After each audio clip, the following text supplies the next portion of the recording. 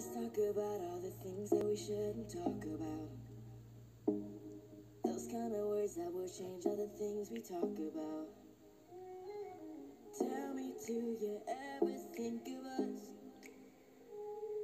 Should I ask some more or should I stop?